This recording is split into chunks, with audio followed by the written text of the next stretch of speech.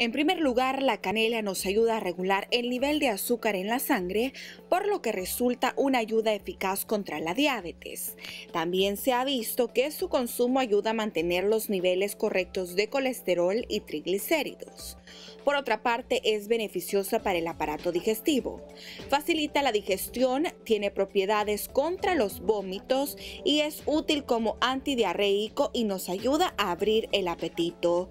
Son muy apreciadas sus propiedades antibacterianas, antiinflamatorias y expectorantes frente a enfermedades respiratorias como los resfriados, el asma, bronquitis y gripe, especialmente en forma de aceite esencial.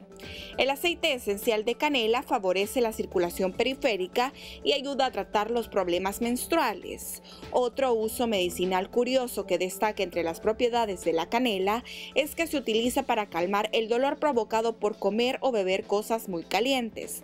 Se chupa una ramita de canela y esto ayuda a calmar el dolor en la lengua. A pesar de que posee múltiples cualidades y propiedades, no debe de ser tomada por todo el mundo ya que existen contraindicaciones. Su consumo durante el embarazo puede provocar abortos y tampoco deben tomarla las mujeres que estén intentando quedar embarazadas, ya que puede tener cierto efecto anticonceptivo.